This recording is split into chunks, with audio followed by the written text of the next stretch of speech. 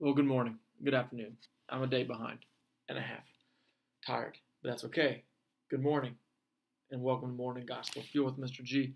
It is Tuesday, August 23rd, the 21st week of Ordinary Time, and the feast day of Saint Rose of Lima, uh, Lima, Peru. Uh, she was a member of the Third Order of Saint Dominic, um, and she became very well known for her life of severe penance uh, as well as her care for the poverty uh, that struck uh, Lima, Peru.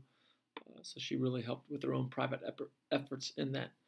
Um, she was born of a noble family, um, but then became, of course, a, uh, a lay member of the Dominican order.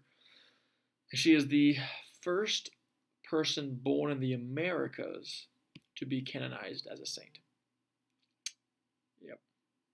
And she is the patron saint of, in, of embroidery, gardening, and the cultivation of blooming flowers. So there we go. Today's gospel is from Matthew chapter 23, verses 23 through 26.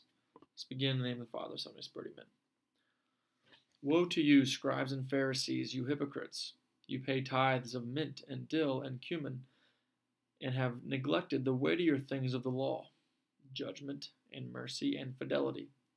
But these you should have done without neglecting the others, blind guides who, who strain out the gnat and swallow the camel. Woe to you, scribes and Pharisees, you hypocrites! You cleanse the outside of cup and dish, but inside they are full of plunder and self indulgence. Blind Pharisee, cleanse first the inside of the cup, so that the outside also may be clean. All right, Jesus is getting after it today.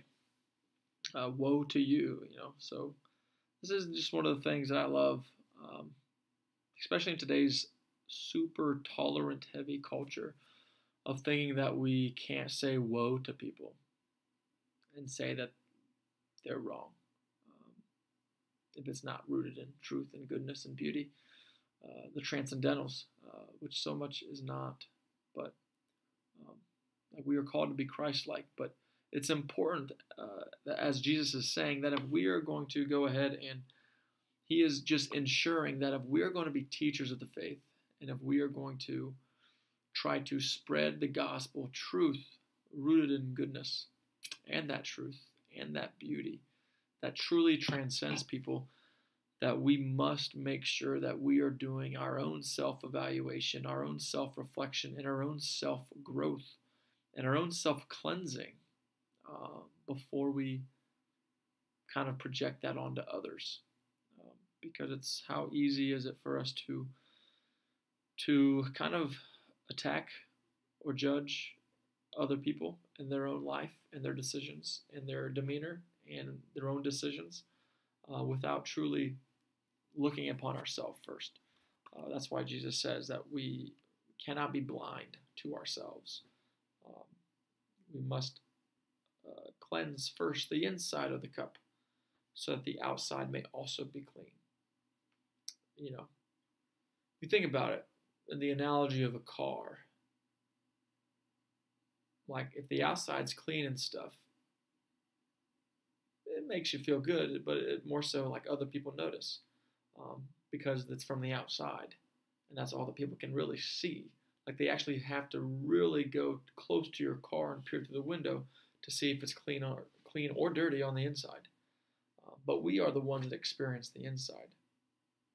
So I think what the challenge is from today's gospel is gospel is making sure that we clean out the inside of our car first. And that's where we reside. You know, that's more personal, that's more intimate with ourselves.